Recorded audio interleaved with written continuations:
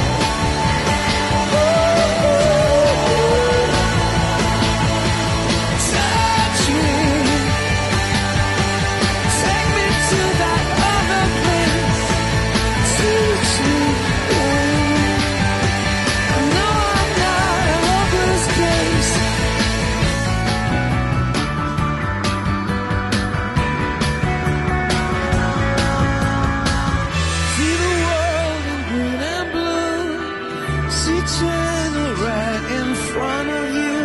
See the broken. See the fleets clearing the out.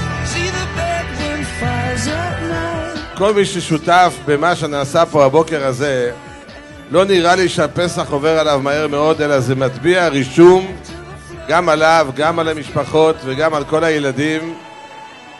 הטבעה ממש של מידת החסד שאין למעלה ממנה. תודה לכולם, שלא רק היום, אלא לכל השנה, עזרו לנו לחצות קשרים ולחדור ללבבות של כולנו.